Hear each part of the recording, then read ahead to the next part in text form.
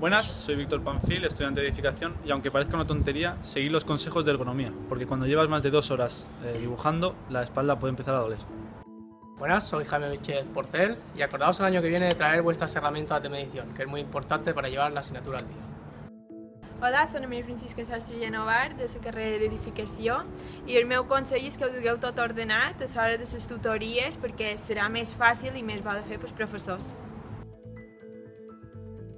Buenas, soy María Oliver y os aconsejo para este año que traigáis tanto agua como comida saludable porque vais a pasar mucho tiempo eh, dibujando y también al aire libre y tantas horas como que os acabaréis eh, mareando y lo vais a necesitar bastante.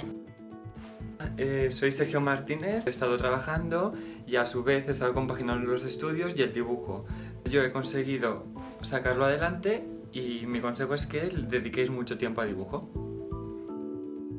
Muy buenas, soy José Manuel Morán, estudiante de edificación. Quería daros el consejo de venir siempre en chándal, porque a la hora de tomar medidas es mucho más cómodo y además, si tenemos que ir a otro edificio, es más llevadero.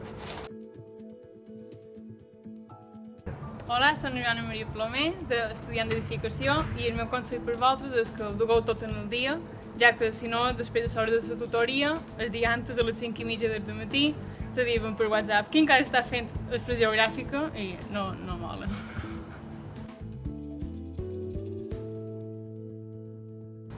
Bueno, me presento, yo soy Joan Moreno. Eh, yo soy Rubén Bosch. Yo soy William Sinani. Y os vamos a dar consejos para que os vaya bien esta asignatura. Y mi primer consejo es sobre todo tomar medidas en, en equipo con tus compañeros. Eh, eso nos facilita eh, mejorar errores, tomar más medidas, eh, comparar medidas. Y sobre todo no dejar las cosas para el último día.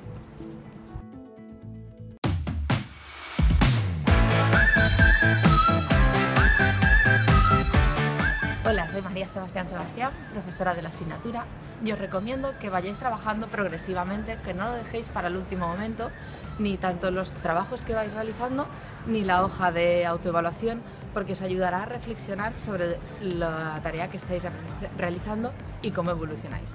Mucha suerte y ánimos. Soy Antonio Fernández Coca, profesor titular de la asignatura Expresión Gráfica aquí en la Universidad de Les Illes Balears.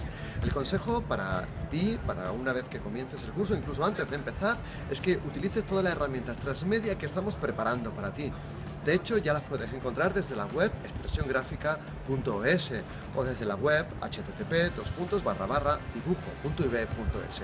Desde ahí podrás consultar tanto los ejercicios que tienes que llevar al día, como saber todo el organigrama, toda la organización, toda la parte de horario que vas a tener, no solamente para venir a clase, sino también para saber cuándo conviene hacer cada ejercicio, el momento, durante el curso, para que nunca te pille el toro, para que lo lleves todo el día y para que tus resultados sean como tú te mereces, que es lo mejor posible que te puedas llegar a plantear.